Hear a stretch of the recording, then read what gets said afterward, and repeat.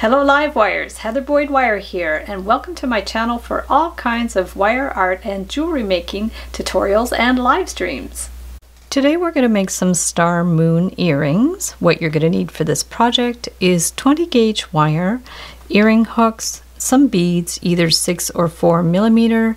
You'll need a ring mandrel to make the round form of the moon, or you can use markers. You'll need uh, flat pliers, round pliers, a ruler, and some cutters. We'll start with a 6 to 8 inch piece of wire, and what we want to do is just bend it about at an inch at a little bit of an angle.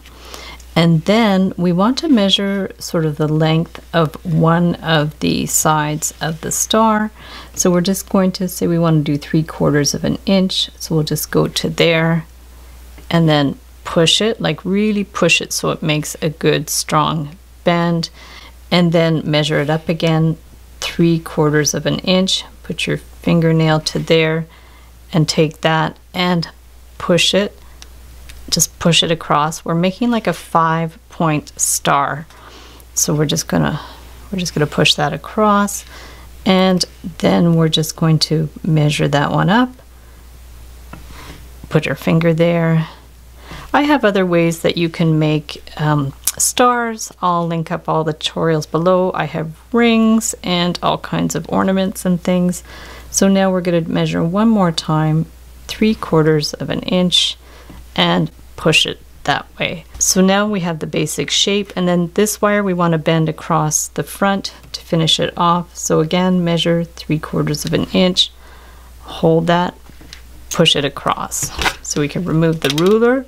Now we have a nice star and we want to wind it around. It's much easier if you start the bend with your pliers first, otherwise it can get distorted. So just hold your round pliers, hold the wire here, and just push it with your thumb. I like to hold the wire with my pliers and push with my hands. So there we have the starting point. And then that way, when you hold this and tug it, it's going to stay nicely in place. So you could bring it all the way around if you want, or just cut it snugly there.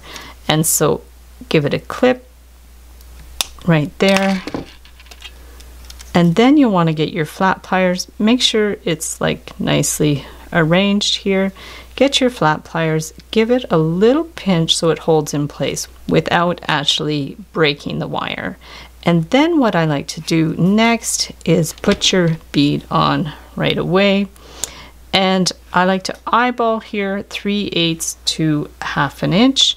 So we're just going to take that and give it a little clip at that point and then all you have to do is take your round pliers, hold this in place, take this, back it up, and turn that around. So just gonna turn it right around. And the idea is that it just like fits nice and snugly in there. So we're going to just close that up. So there is our star. To make the moon earrings, we're going to take about a 6 inch piece of 20 gauge wire and we're going to bend it at about the 1 inch mark. Just bend it at a right angle. To make the round form, you can either use a Sharpie or a Crayola marker or a highlighter, or you can use a ring mandrel to get different sizes. This is the stepped ring mandrel. So what you're going to do is just hold it. I'm going to try at the 7 spot. We're just going to bring that one around and then you can see how it compares to the star. You might even want to make it a little bit smaller. We can go to the six, just bring it up there, tighten it up a little bit. And then what you want to do is just hold this in the place that you want and bend it to the back. So just hold this and I'll show you on the side, just bend this to the back and same, push with your finger to make a nice sharp crease and then just like push it in. So this is what you have here. And then from there, we can use a smaller spot on the ring mandrel. We'll try it at the four and just bring it around like that. If that's not small enough, grab a Sharpie, just hold this in place, and then just bring this one in a little bit more. So from there, we're just going to adjust this how we want. You can spread that a little bit, bend that a little bit, and then we want to bend this one back. So same thing, we're going to help it out. Just eyeball it, or you could print out a template with different moon outlines on it. Just hold this here, and then just, I'm going to bend it to the front. So same thing, push it. You see I'm bent it on a right angle to the front, and help it a little bit more, and then just push it like that. So you have that shape. And then you could get the end of a marker and just so you can hold it at the edge and bring it around. So there you have the moon shape and then we're just going to like push it over a little bit, just push it this way. If you find this has become too wide, you can even narrow it out a bit, just straighten that one a bit and then bend it a little bit more to the left. There are always like little adjustments you can do and then we want to wind that one around here. So just take your round pliers, hold that in place, and then help it out with the round pliers. And after that, just hold it snugly, give it a good little tug, and clip that one in place. Push it with the flat pliers, pinch that one in, and now we want to put the six millimeter bead on there and we're going to cut it to 3 eighths to half an inch. Take your round pliers, bend it back and around so it just fits snugly in there. And then you can just give it a little pinch with the flat pliers.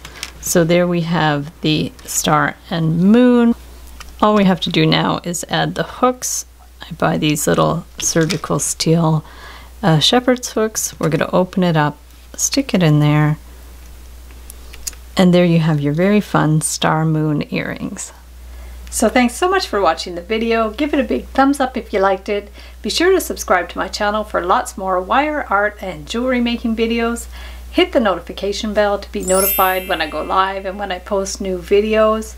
And if you'd like to share photos of your wire art and jewelry, be sure to join the Wire Makers Club on Facebook. And if you'd like to check out my work on Etsy, my husband and I specialize in custom wedding cake toppers and funky jewelry. I also have a mailing list, so if you'd like to sign up below, I'll send you my Wire Art Essentials ebook. So thanks again for watching, and we'll see you the next time.